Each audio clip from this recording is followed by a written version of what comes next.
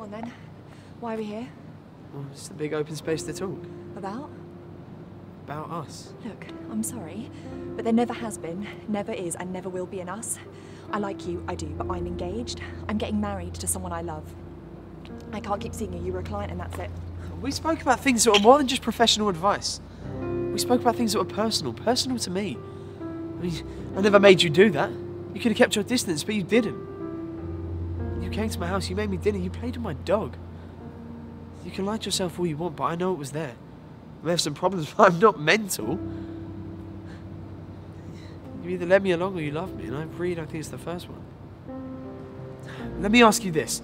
That night we chatted on the phone for four hours long. Did we talk about anything professional? Did I call you doctor? And when the phone cut out, why call back? When was the last time your future husband spoke to you for that long?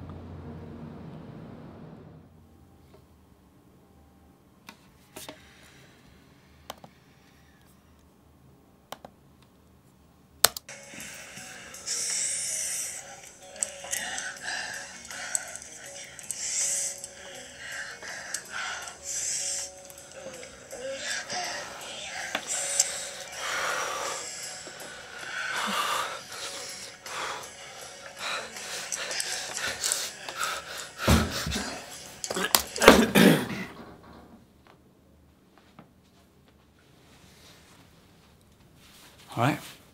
Yeah, everything's good, everything's fine. How was your day? Fine. What are you doing? Working. Really? Yeah, you know, trying to this science stuff. it's killing me. Yeah, it looks like it. How was your day?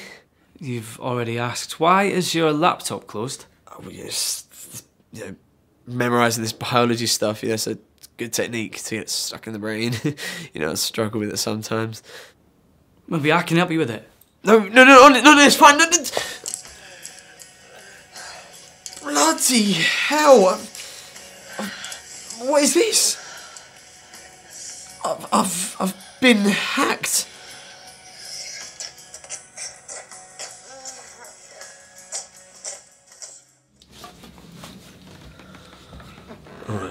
I'll be back in a couple of days to pick up the rest of my stuff. I'll pay my side of the rent until someone else moves in. Thanks. Such a gentleman. Look, I don't want to make this any harder than it has to be. It's not your choice, Daniel. I hope you and your new girlfriend are happy. Fuck this. I hope you at least come back to see your child. What? Yeah. You heard me. Turns out the pill's not 100% safe. Can't do this. Me? It's half yours, prick. Do you think I want this? Do you not think I want you to walk out and never see you again? Fucking get rid of it then. No.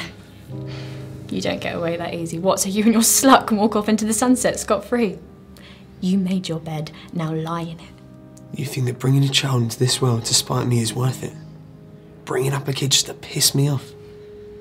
Why dinner, huh? Why? Is it because that's what your mum did? Think about it. Do you really want a kid growing up to be a mess like you?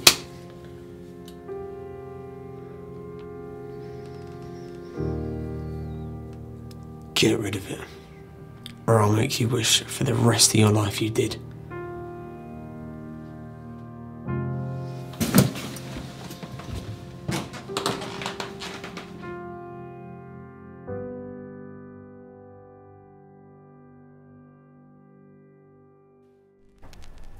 Cut. Pretty good. Pretty darn good.